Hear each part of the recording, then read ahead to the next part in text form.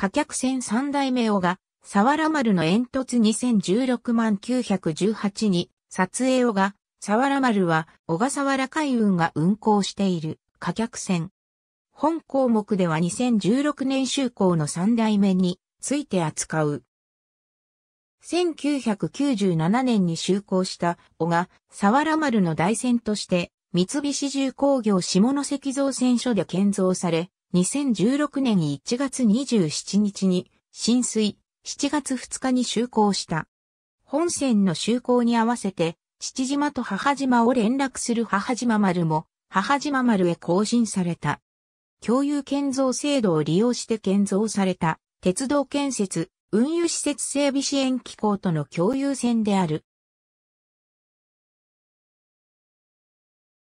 小笠原諸島航路には、テクノスーパーライナーの実用一番線となる、スーパーライナー小笠原が2005年11月に就航する予定であったが、原油価格高騰の影響を受け、運航費用の問題で頓挫した。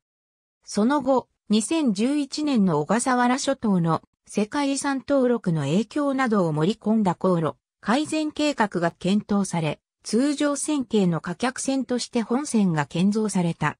船姿は前船に類似しているが、先客定員を増加するためデッキが一層増やされ、大型化した。全長は約20メートル、長い150メートル、総トン数は1.6倍の1万1000トンとなった。二見高山橋に制約される全長の範囲内で、水船長を可能な限り長くするため船首は垂直ステムが採用されており、外観上の特徴となっている。高快速力は1.3ノット向上し、片道約24時間での運行が可能となった。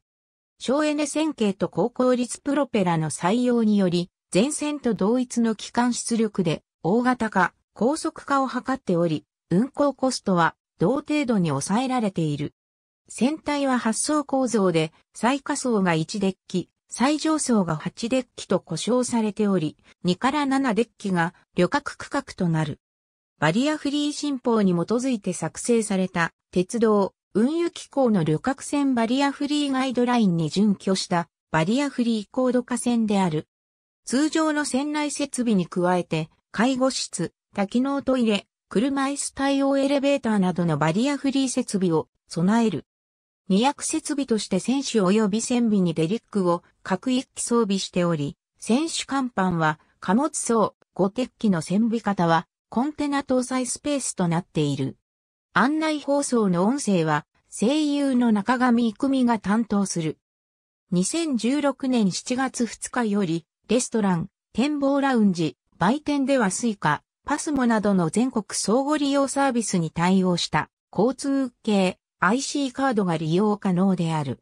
船体の大型化により旅客定員は125名増加した。個室需要に対応するため個室も増やされ、原則として相部屋としない運用となった。新たに二等寝台が設定されたほか、二等和室は間仕切りが設けられ、一人当たりのスペースも前船比で約30%広げられた。特に等寝台、二等寝台、二等和室にはレディースルームが、二等和室にはファミリールームが設定される。特等室には隣接してマッサージチェア、コーヒーサーバー、水素水給水器を備えた専用ラウンジが設置される。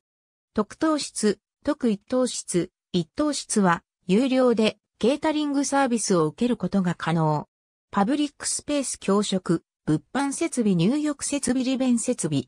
ありがとうございます。